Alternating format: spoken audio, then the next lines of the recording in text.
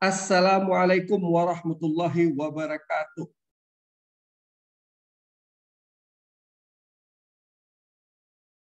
Kali ini kita akan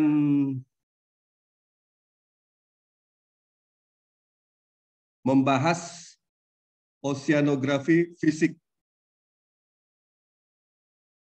Jadi apa itu oceanografi fisik?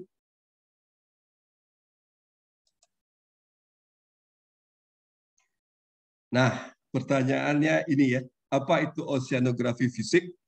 Di sini ada dua kata, oceanografi dan fisik atau fisika ya. Ketika kita berbicara mengenai fisika, ya, terutama konsep fisika klasik, itu tidak terlepas dari hukum-hukum gerak. Ya. Jadi fisika klasik itu berbasis hukum Newton, ya, mana kita ketahui hukum gerak, ya, hukum Newton kedua itu disebutkan gaya sama dengan massa dikali dengan percepatan, ya, atau F sama dengan M dikali dengan A. Ya. Nah, sekarang hukum-hukum gerak tersebut kita terapkan ke laut ya atau bahasa Inggrisnya ocean ya. Jadi bagaimana penerapan hukum-hukum gerak fisika di di lautan ya. Jadi hal yang sering kita temui ya aplikasi fisika di bidang kelautan ya, itu terlihat dari sifat-sifat fisika laut ya seperti arus, pasang surut, ya, gelombang atau ombak hingga tsunami ya. Nah, semuanya itu ya berbasis hukum-hukum gerak fisika dalam hal ini hukum Newton.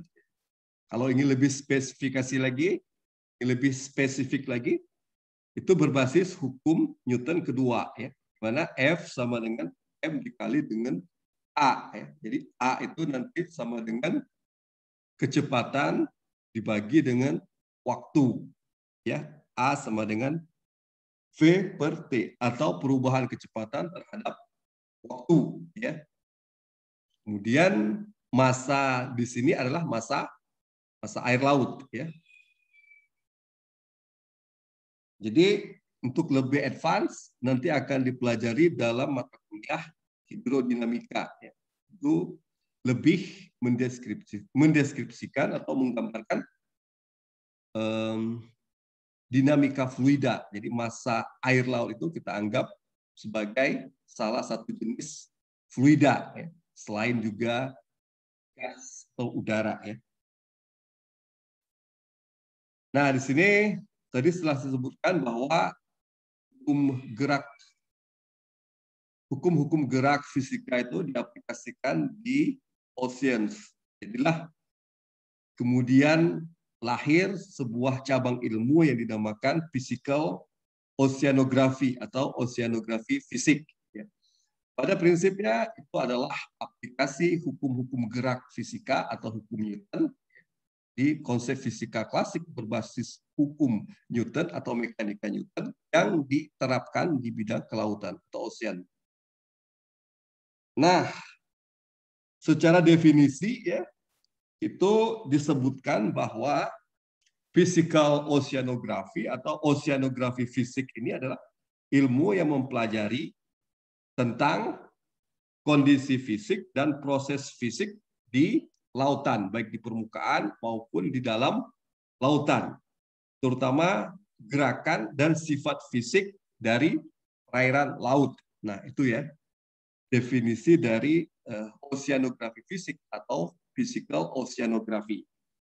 Jadi saya ulang sekali lagi bahwa oceanografi fisik itu adalah ilmu yang mempelajari tentang kondisi fisik dan proses fisik di permukaan atau di dalam lautan, terutama gerakan dan sifat fisik perairan laut. Nah, itu yang saya contohkan tadi melalui arus, yang baik di permukaan maupun di perairan dalam.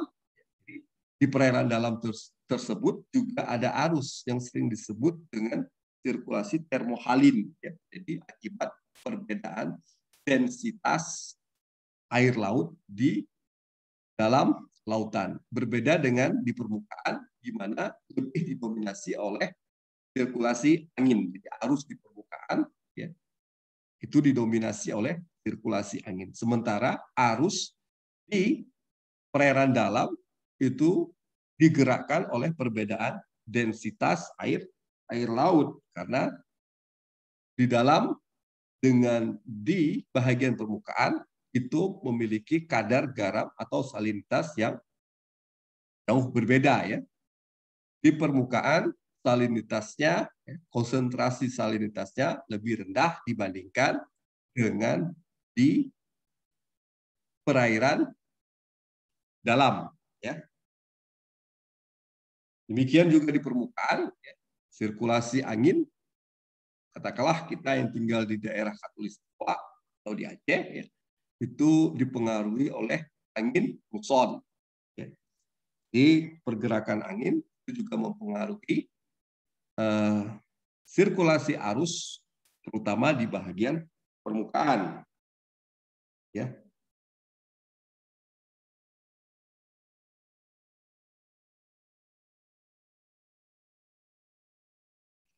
Kemudian, nah ini telah kita ketahui ya dari sejak kita menempuh pendidikan di sekolah dasar, kita telah mengetahui bahwa 70% dari bumi kita ini ya adalah lautan. 30% kurang lebih ya itu adalah daratan. Mengapa demikian? Nah, sekarang pertanyaannya itu saya balik ya. Apa jadinya jika daratan itu lebih luas dibandingkan dengan lautan? Nah, ini.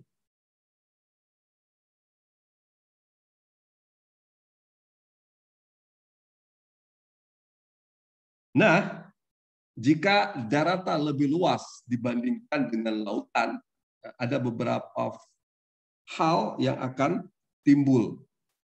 Ya, yang pertama ya, karena karena daratan lebih luas ya dibandingkan dengan lautan, ya, maka kita akan merasa lebih panas ya. Karena apa? Sifat daratan yang rigid ya itu lebih mudah menyerap panas dibandingkan lautan ya. Lautan ya, katakanlah pada siang hari jika kita mandi di laut pada siang hari kita merasakan suasana yang dingin ya. Jika kita mandi di laut pada siang hari walaupun pada siang hari tersebut sedang terik-teriknya matahari ya. Tapi ketika kita mandi di laut siang hari terasa dingin ya. Kenapa? Sifat laut itu menyerap panas hingga ke kedalaman tertentu ya. Jadi eh, ketika radiasi matahari sampai ke permukaan, laut itu menyerap panas terlebih dahulu hingga ke kedalaman tertentu, baru kemudian panas tersebut di, dilepas kembali ke eh, atmosfer. Berbeda dengan kondisi di daratan. Nah, kondisi di daratan siang hari katakanlah ya, coba anda berada di luar di luar di luar rumah ya di lapangan ya anda akan merasakan udara yang lebih atau suhu yang lebih panas ya dibandingkan jika anda berendam di di laut. Jadi itu jika daratan lebih luas dibandingkan dengan lautan maka suhu bumi akan naik secara drastis ya. Nah, karena apa? Ya, ingat seperti yang saya sebut tadi bahwa air itu memiliki sifat menyerap banyak panas ya tanpa menunjukkan kenaikan suhu yang signifikan. Atas dasar kemampuan inilah ya, keberadaan sejumlah besar air di lautan membantu bumi ya tetap dingin. Nah, itu pentingnya atau manfaatnya bumi ini didominasi oleh lautan ya. Jadi sifat air tadi yang menyerap banyak panas ya tanpa menunjukkan kenaikan suhu yang signifikan.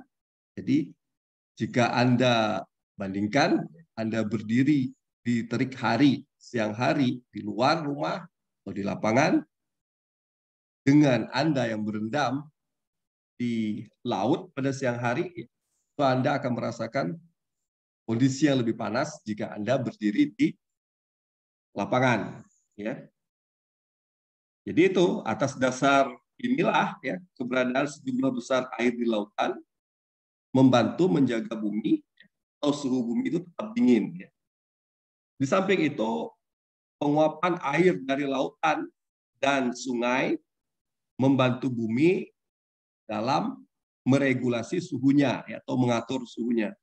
Jika lautan dan daratan bertukar posisi, nah ini ya jika lautan dan daratan bertukar posisi, maka suhu bumi akan naik dengan sangat cepat dan menjadi lebih panas. Itu yang saya contohkan jika Anda berada di siang hari di luar rumah atau di lapangan dengan ada yang berendam di, di lautan ya.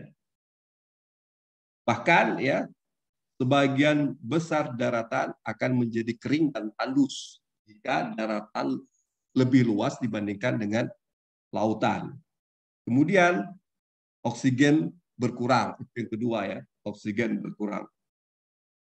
Tumbuhan laut seperti fitopang fitoplankton, ya, tumbuhan laut seperti fitoplankton, ya, itu memasok sekitar 70% oksigen yang ada di atmosfer bumi. Jadi selama ini yang kita bayangkan bahwa pemasok oksigen terbesar itu berasal dari tanaman. Ternyata tanaman laut atau tumbuhan laut seperti fitoplankton itu bahkan memasok ya, hampir sekitar 70% oksigen yang ada di atmosfer bumi. Bahkan nilainya itu lebih besar dari eh, tanaman di daratan. Ya. Jadi fitoplankton itu memasok oksigen 70% dari eh, keseluruhan oksigen yang ada di atmosfer bumi.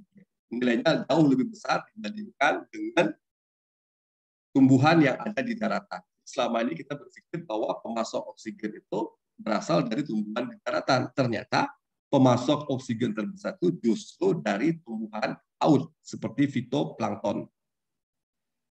Nah, tanpa lautan banyak tanaman air yang akan lenyap dengan cepat, ya. yang pada gilirannya akan menyebabkan lebih sedikit oksigen di atmosfer. Nah, itu ya jika daratan lebih luas dibandingkan dengan lautan. Lautan juga bertindak sebagai penyerap karbon dioksida yang kita lepaskan ke atmosfer. Jadi selama ini kita hanya membayangkan bahwa tumbuhan di daratanlah yang menjadi karbon absorber. Ya. Tapi ternyata di sini lautan itu karena memiliki luas yang lebih besar dibandingkan dengan daratan sehingga ya, karbon absorber yang terbesar itu justru datang dari lautan atau penyerap karbon dioksida yang besar ya, itu justru lebih banyak karena luas, luas karena lautan yang lebih luas dibandingkan daratan ya. Jadi lautan juga bertindak ya, sebagai penyerap karbon dioksida yang besar ya. Jadi selama ini ya kita bayangkan hutan, hutan ya. Jadi hutan itu berada di daratan. Hutanlah yang menyerap karbon dalam jumlah yang besar ya. Ternyata di sini lautan lah yang menjadi penyerap karbon dioksida terbesar di di bumi ya. Itulah eh, salah satu manfaat dari wilayah laut yang luas ya.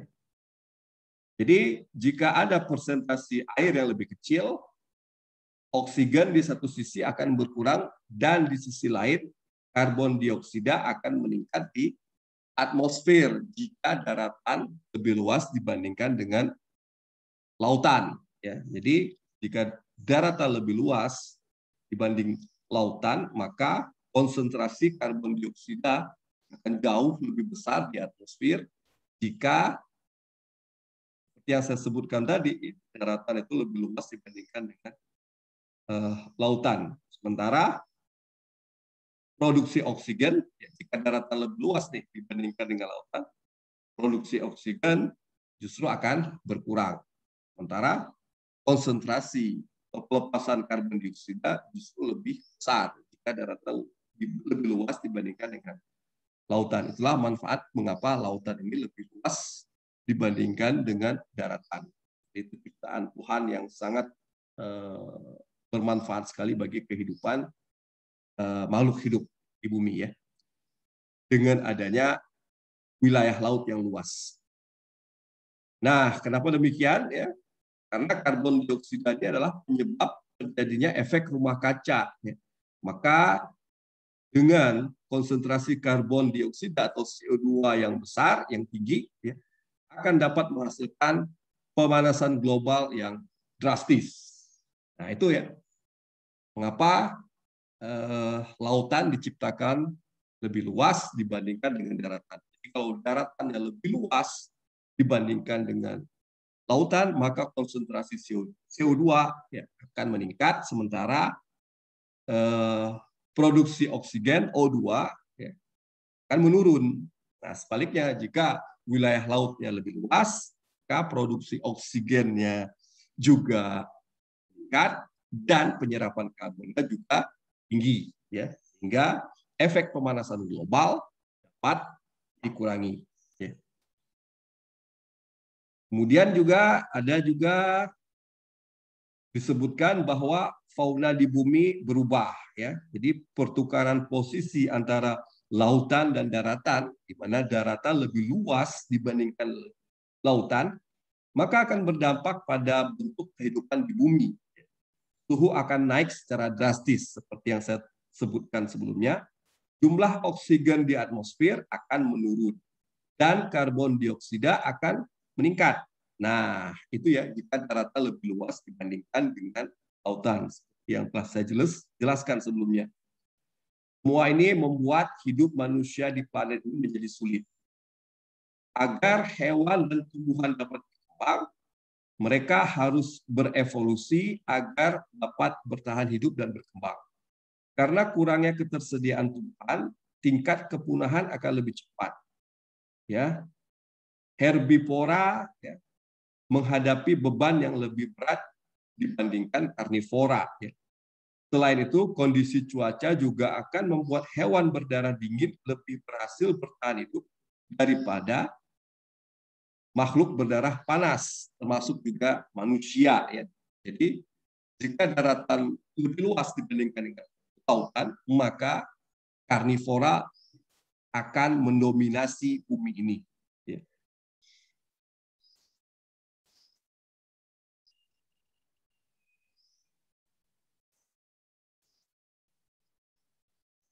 Nah, selanjutnya jika daratan lebih luas dibandingkan dengan lautan, maka akan berdampak terhadap perubahan peradaban manusia dan ekonomi.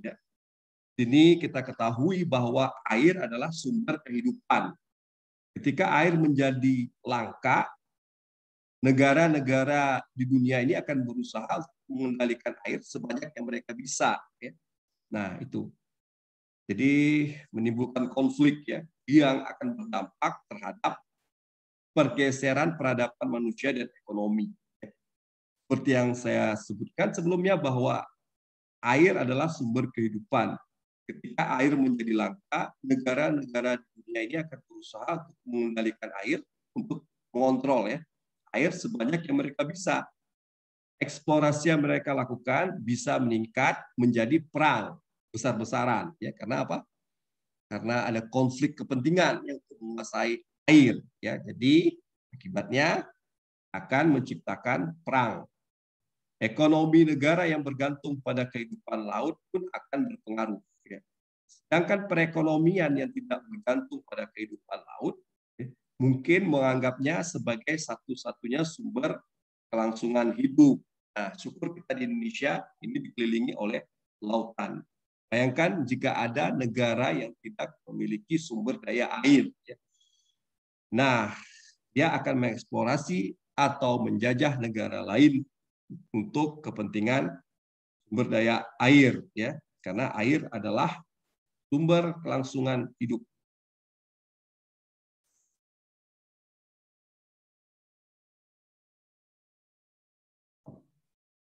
Kira-kira demikian ya manfaat jika eh, lautan lebih luas dibandingkan bukan jika manfaat lautan lebih luas dibandingkan dengan daratan. Kemudian mengapa kita belajar oceanografi fisik ya Ini jawabannya akan saya sampaikan setelah kita mereview ya bagaimana kondisi uh, sifat fisik air laut dalam hal ini oceanografi fisik di perairan Aceh. Ya. Ini saya memiliki artikel dari Profesor Samsul ya, mana saya juga terlibat dalam penelitian beliau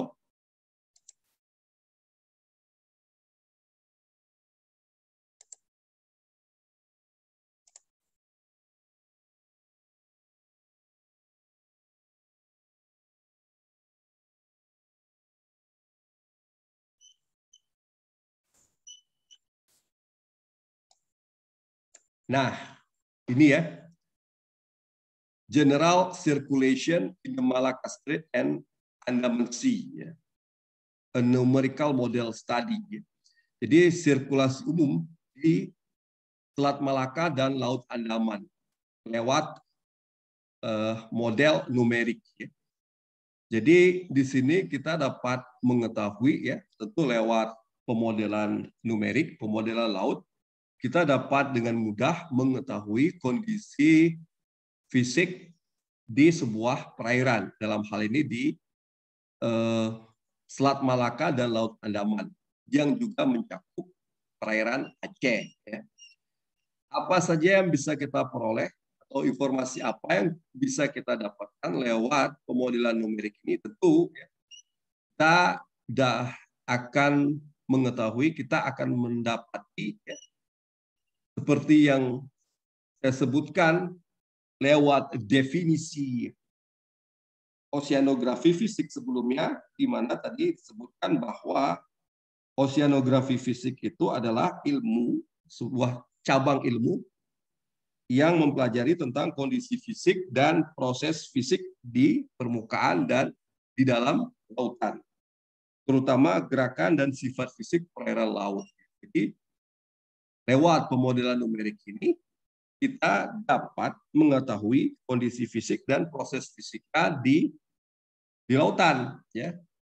Jadi di sini lewat pemodelan kita dapat mengetahui batimetri di sebuah perairan. Batimetri itu adalah topografi laut ya. Di sini kalau kita perhatikan ya di Selat Malaka itu perairan dangkal. Kita bisa perhatikan di sini batimetrinya itu ya, paling dalam ya, antara ujung tenggara Selat Malaka hingga ke barat laut Selat Malaka itu kedalamannya hanya 75 meter. Ya. Ini diperoleh melalui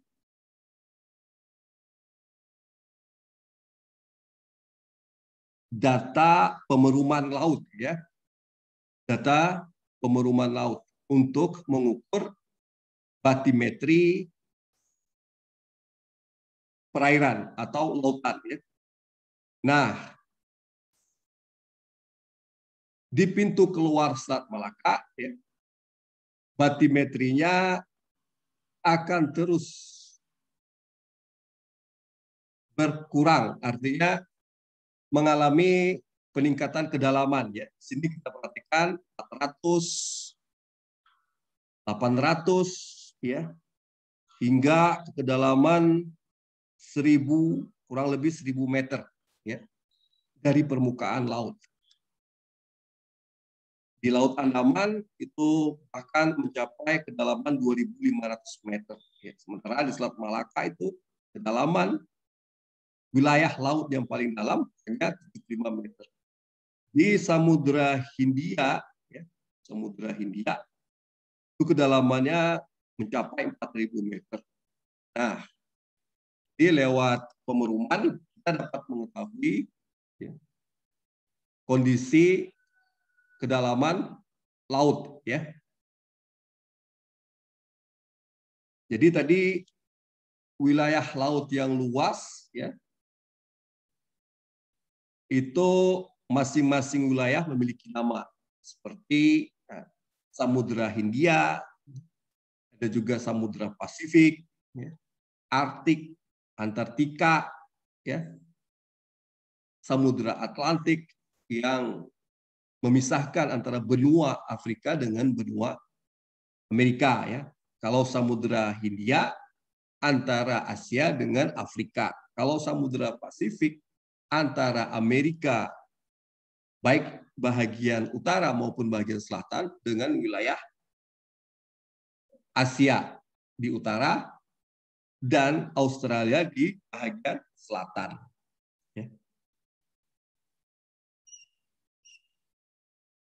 Nah, di sini ya kita juga dapat mengetahui ya sirkulasi angin yang bergerak di perairan Aceh.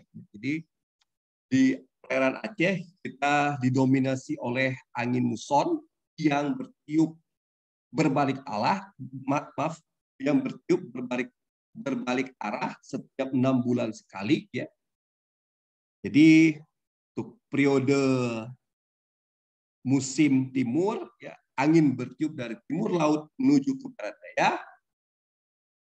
Untuk periode musim barat, ya, angin muson bertiup dari barat daya menuju ke timur laut. Jadi berbalik berbalik arah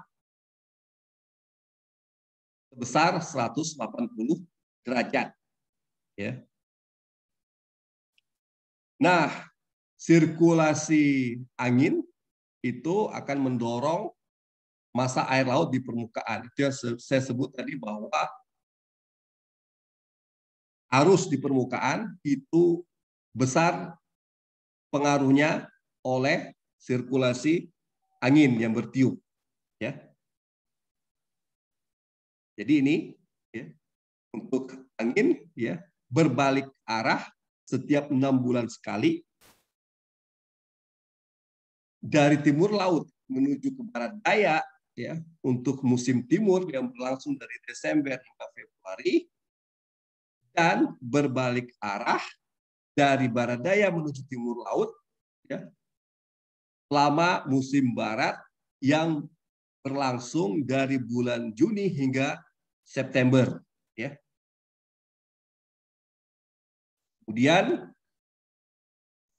ini yang saya sebutkan tadi bahwa oceanografi fisik itu berbasis hukum gerak ya di mana di sini ya. sudah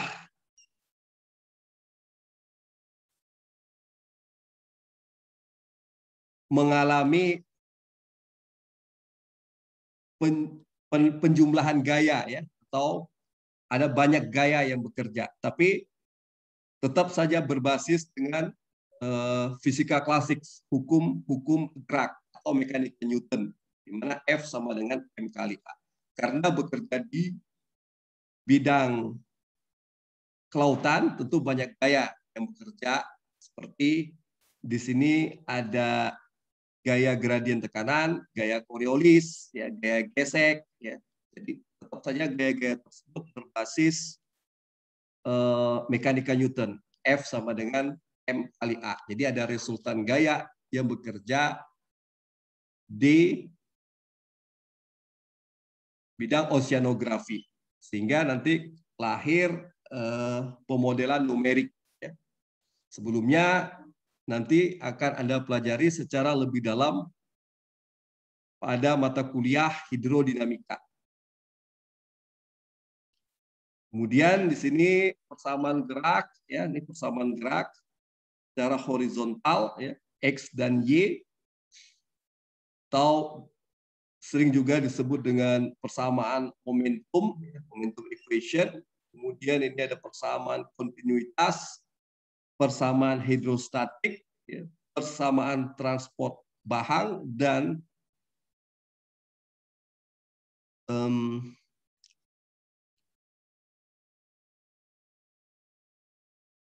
keasinan ya salt ya. Persamaan transport salt, salinity ya. Keasinan.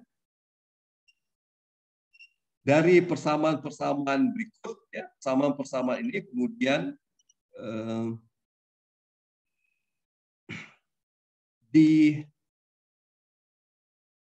didekati dengan eh, sebuah metode numerik namanya beda hingga dan kemudian dimodelkan sehingga kita produksi ya, kita hasilkan di sini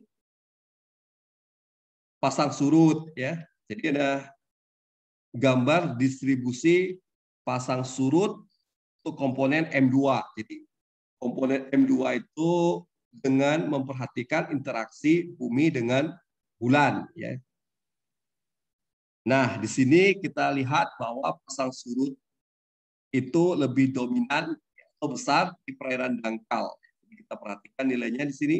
Selat Malaka itu memiliki pasang surut yang besar dibandingkan dengan Laut Andaman. Di sini kita kita lihat ya kita atau kita amati di sini eh, pasang surut mencapai ketinggian 90 cm di Selat Malaka.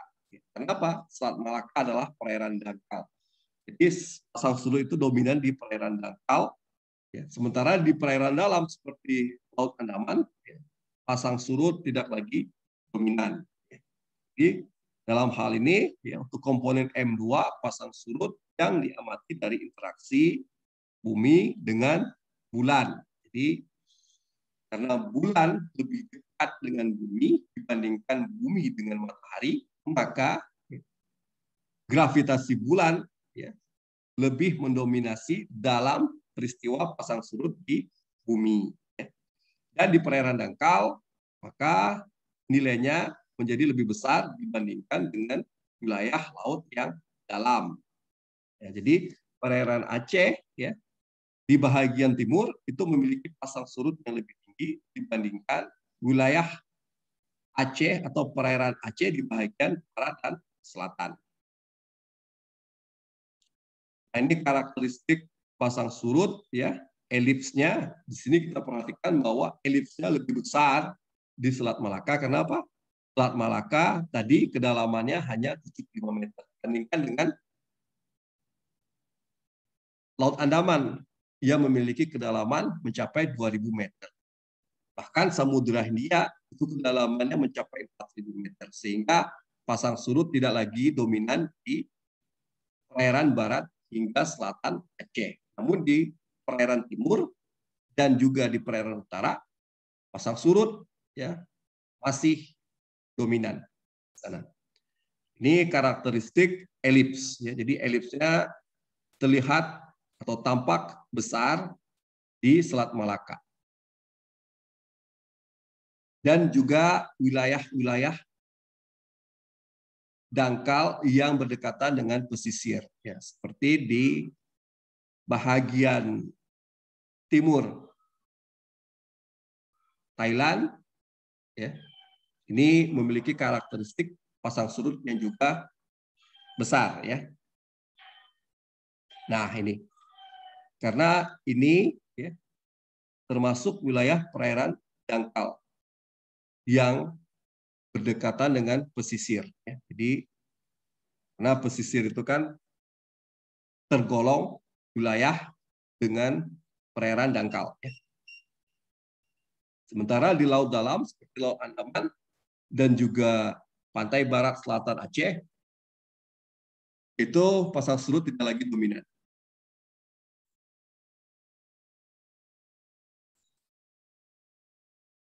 Nah, ini jenis ya distribusi pasang surut di Laut Andaman dan Selat Malaka berbasis pemodelan laut yang disebut dengan HAMSOM.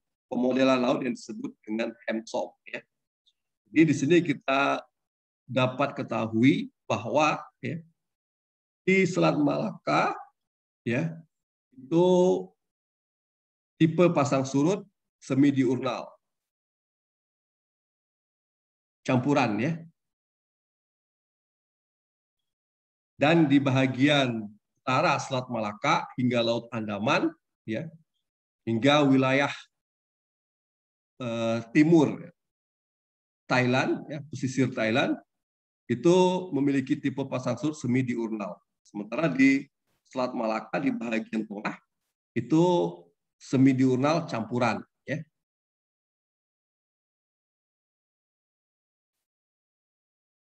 Nah, ini yang saya sebut tadi arus di permukaan itu dipengaruhi oleh angin. Ya. Jadi ini dihasilkan melalui pemodelan. Kita bisa lihat di sini dari bulan Desember hingga Februari, ya, musim timur, ya, di mana angin bertiup dari timur laut menuju ke barat daya. Ya. Jadi masa air laut itu juga terdorong, ya, hampir menyerupai sirkulasi muson atau angin muson ya, yang bertiup pada musim timur. Jadi kalau kita perhatikan di sini arus juga bertiup dari timur laut ya, menuju ke barat daya ya. Nah, karena apa? Anginnya juga bertiup dari timur laut menuju ke barat daya. Sebaliknya pada musim musim barat ya, musim barat di sini angin bertiup dari barat daya menuju ke timur laut dan itu mendorong masa air di permukaan untuk bergerak mengikuti pola angin. Ya. Nah, kalau kita perhatikan di sini Selat Malaka untuk dua periode musim barat, musim timur dan musim barat itu masa airnya bergerak ke arah barat laut ya atau keluar dari Selat Malaka dengan kecepatan yang tentu saja bervariasi. Ya. Jadi itu ini arus di permukaan. Ya. Dalam hal ini ya yang disebabkan oleh pasang surut, angin dan juga influx atau ada interaksi ocean atmosfer. Ya. Selama musim timur dan musim barat. Ya, jadi musim timur periodenya Desember hingga Februari, musim barat periodenya dari Juni hingga September. Ya. Jadi ini arus permukaan. Kemudian ini secara klimatologi dan dilakukan uh, running model dalam jangka waktu yang panjang. Pada prinsipnya ini sama seperti gambar sebelumnya, hanya saja ini klimatologi. Klimatologi itu artinya rata-rata dalam jangka waktu yang panjang untuk dua periode musim tersebut, yaitu musim timur ya, yang berlangsung dari Februari hingga Agustus dan musim barat yang berlangsung dari Juni hingga September. Karena arus permukaan maka dominan dipengaruhi oleh sirkulasi muson yang bertiup berbalik arah 180 derajat untuk setiap enam bulan.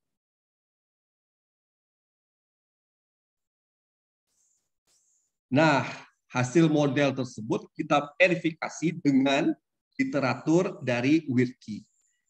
Wirki ini adalah pengarang buku Physical Oceanography of the Southeast Asia atau kondisi oceanografi fisik di Asia Tenggara melalui survei atau observasi pelayaran. Ya, jadi banyak hasil-hasil penelitian pemodelan kemudian dilakukan verifikasi menggunakan literatur dari Wirki ya, pada tahun 1961. Jadi hasil pemodelan itu sesuai dengan arus yang dipetakan melalui observasi atau melalui survei oleh Wirki. Ya. Di setiap panah atau setiap vektor arus di sini ya memiliki nilai yang berbeda-beda. Ya, jadi bisa dilihat di legendanya. Tapi secara umum pemetaan arus yang dihasilkan melalui pemodelan itu konsisten dengan pemetaan arus yang dilakukan oleh Wirki melalui survei. Nah, ini adalah si surface salinity atau kadar garam di permukaan. Ya. Kita bisa perhatikan di sini Selat Malaka memiliki kadar garam yang lebih rendah dibandingkan dengan wilayah di Laut Andaman. Kenapa? Karena banyak sungai-sungai yang bermuara di Selat Malaka ya dari Sumatera ya, dan juga dari Semenanjung Malaysia atau Semenanjung Malaya. Jadi banyak air tawar atau sungai yang bermuara di Selat Malaka. Itu yang mengakibatkan salinitas di Selat Malaka itu lebih rendah dibandingkan dengan wilayah di perairan dalam. Demikian juga salinitas-salinitas di daerah pesisir itu lebih rendah ya karena banyak masukan atau banyak input dari uh, air tawar lewat sungai ya. Jadi semakin jauh offshore atau semakin jauh lepas pantai, maka kondisi salinitasnya menjadi lebih tinggi. Ya. Kondisi salinitas itu rendah di daerah pesisir. Untuk wilayah laut seperti Selat Malaka, karena banyak sungai yang bermuara ke Selat Malaka, maka memiliki kadar salinitas yang lebih rendah dibandingkan dengan wilayah laut lepas di pantai barat selatan Aceh dan juga Selat Malaka. Ini untuk masing-masing musim ya, musim timur dan musim barat. Kemudian ini juga sea surface temperature atau suhu muka laut ya. Jadi suhu muka laut di wilayah Selat Malaka itu lebih tinggi atau lebih panas dibandingkan dengan wilayah laut yang dalam seperti Laut Andaman. Kenapa? Seperti yang saya sebut tadi, karena wilayah wilayah lautnya dangkal, jadi radiasi matahari dapat dengan mudah mencapai dasar sehingga mengakibatkan kondisi ya, perairan di Selat Malaka itu lebih panas dibandingkan dengan wilayah laut yang di dalam seperti di Laut Andaman. Ya, ini untuk masing-masing musim ya musim barat diwakili pada bulan Februari ah, musim timur diwakili oleh bulan Februari dan musim barat diwakili oleh bulan Agustus. Simulasinya dilakukan pada tahun 1990. Nah, ini cross sections dari salinitas ya. Di dari bahagian tenggara hingga ke barat laut ya di, di plot ya jadi kita bisa dapati gambar seperti ini di mana wilayah Selat Malaka itu memiliki kedalaman yang dangkal kemudian semakin ke barat laut ya eh, batimetri terus menurun artinya laut semakin dalam ya. Jadi di sini kita bisa perhatikan wilayah Selat Malaka itu memiliki salinitas yang lebih rendah dibandingkan dengan wilayah laut yang lebih dalam di bagian barat laut. Ya. Jadi tadi disebutkan bahwa Selat Malaka karena banyak sungai yang bermuara di sana mengakibatkan eh, salinitas menjadi lebih rendah. Nah, ini cross sections atau penampang lintang dari suhu ya. Di sini seperti yang telah saya jelaskan tadi, Selat Malaka itu perairannya lebih panas atau lebih hangat dibandingkan dengan wilayah laut yang dalam. Wilayah laut yang dalam itu cenderung lebih dingin ya karena radiasi matahari tersebut harus menyerap lebih dahulu hingga ke kedalaman tertentu ya sehingga wilayah laut ya terutama di bagian permukaan ya jika kita bandingkan dengan kondisi di Selat Malaka ya wilayahnya di bagian laut yang lebih dalam itu suhunya lebih rendah atau lebih dingin dibandingkan dengan kondisi laut yang dangkal seperti halnya di Selat Selat Malaka ya. Ini cross section dari timur dari tenggara ya, di tenggara hingga ke barat laut atau ke pintu keluar Selat Malaka di bagian utara ya yang berdekatan atau berbatasan dengan pantai timur Aceh Ya, jadi ini secara tidak langsung juga menggambarkan kondisi oceanografi fisik di perairan Aceh. Jadi perairan Aceh itu berada di antara Laut Andaman dan juga Selat Malaka dan Samudra Hindia di bagian barat.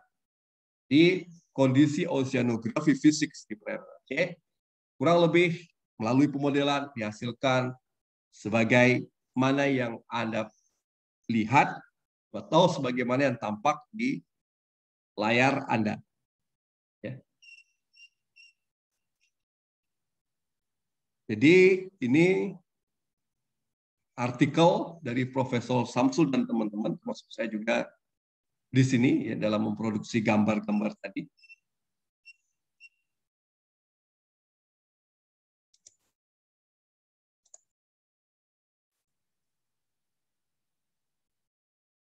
Nah, tadi telah saya jelaskan kondisi oceanografik fisik di perairan Aceh.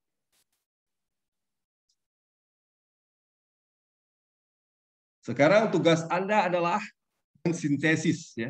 Mengapa kita perlu belajar oceanografi fisik? Jadi silakan direview dari materi-materi yang telah saya sampaikan sebelumnya dalam video ini. Ya, silakan. Ini menjadi tugas Anda. Oke, cukup. Assalamualaikum warahmatullahi wabarakatuh.